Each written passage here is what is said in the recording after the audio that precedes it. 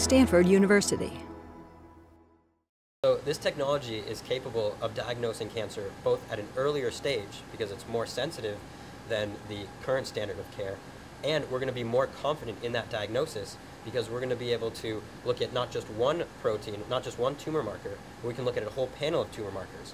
And this will give us more information and it'll help us be more confident in our diagnosis of cancer. So by doing the protein test on blood in real time, essentially, we can tell the doctor much earlier that the therapy is not working or working, so we can actually improve the effectiveness of the drug therapy. So this platform has three major advantages over the current technologies. First of all, we can detect proteins in many different samples, which we call matrix insensitive. So if a patient has a protein in blood or in a cell uh, lysate from a tumor biopsy, we can detect these proteins equally in both samples.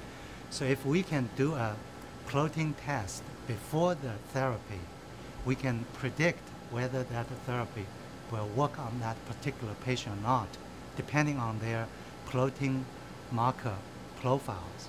It also has exceptionally sensitive, so it's a thousand times more sensitive than the current standard of care. You take the average of all the four senses, right?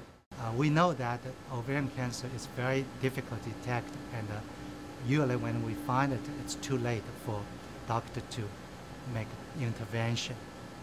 But if we can detect the uh, ovarian cancer in stage one, that's earliest stage, and that will improve the survival rate from 10% to 90%. By being able to diagnose cancer at an earlier stage and being more confident in that diagnosis, uh, we're able to hopefully save lives.